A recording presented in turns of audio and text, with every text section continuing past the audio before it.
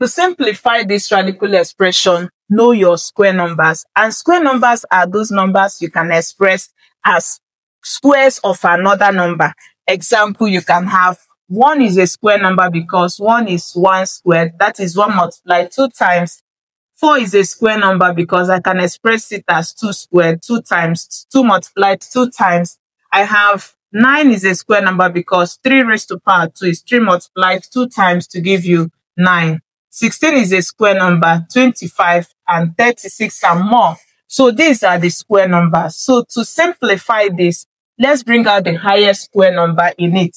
For 72, go here. You see that the highest you can get is 36 because you know that 36 multiplied by 2 gives you back 72.